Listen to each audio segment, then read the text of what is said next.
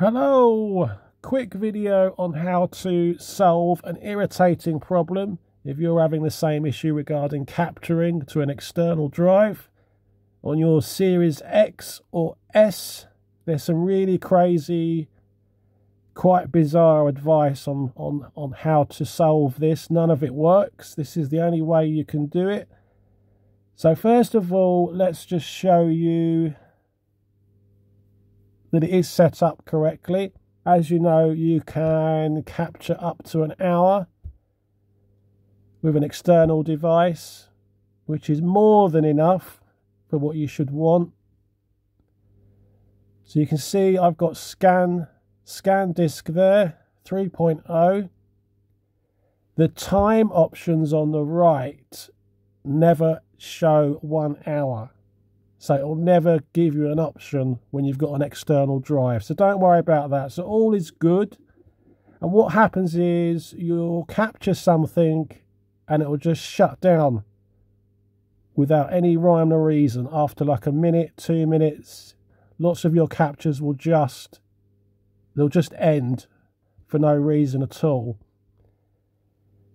as has been happening uh, to me recently, and it's still a problem for some people. So, just to show you, there's only a few very short captures showing. Uh, showing on this at the moment on this device, or at least that's what it initially appears to be. So I'll just go over and show you. So these were recent ones where I thought I'd solved it, and I think I did three I think I did three captures and they were still ending prematurely. See, there you go, I've got three there. And that's nothing. For a size uh, hard drive at this size, an external drive, that should be no issue. So that's what the Xbox thinks is is on this drive. But if you go over to storage and go to SanDisk, now you'll have to view contents because look at the memory on that.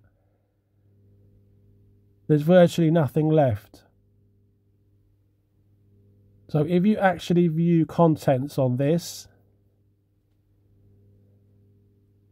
you'll find the entire drive, despite the fact that you've been deleting stuff, you'll find your entire drive is absolutely packed to the limit with all every single capture you've ever done. So you can view them all here. But when you do when you manage captures in a normal screen, although you can delete them, in fact they're they're, they're going nowhere. They're still sitting on the drive. I, I can't understand that. So the only way you can do this, we're going to head over to my extremely elderly PC. This PC's not been fired up for a few years. It's as chuggy as hell.